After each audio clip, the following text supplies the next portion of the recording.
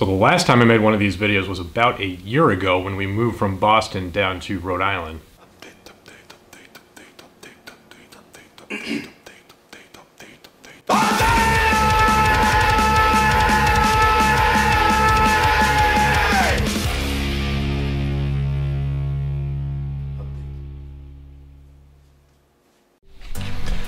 Hey guys, got a big update for you.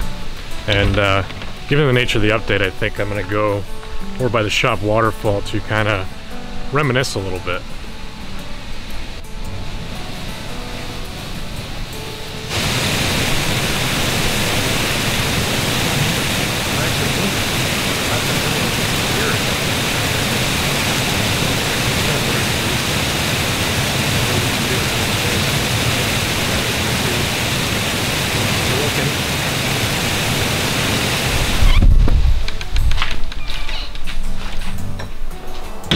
All right, so what's actually happening is I wanted to be more like some of my favorite YouTubers, like you know Jimmy DiResta and Bob Clagett, uh, Pachuto, you know DIY Tyler, those guys, and uh, decided to move.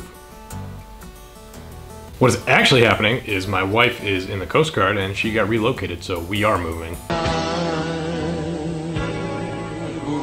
So us, the cats, and all of this is coming with us. We're gonna be relocating from here up in Rhode Island, going down south to DC. Wanted to let you guys know for a couple of reasons. First, I just wanted to say that there might be a lapse in my videos between this shop and the new shop. I've been working my butt off the past couple months to build up a backlog of videos, so hopefully that gap won't be very big. Plus, I know I'll at least be putting together one video showing you the process of how I move all of this and this down with me to DC. So the second reason I'm making this video is to let you guys know that there's some pieces that I haven't sold while I was here in Rhode Island. They're still in stock and I'd like to clear them out before the move so I don't have to bring them with me. So everything that is currently online on my store is going to be heavily discounted so I can get rid of it so I don't have to move it with me. Same goes for my plans. All those are going to be discounted as well. My hard drives are getting really heavy and I don't want to bring all that weight with me.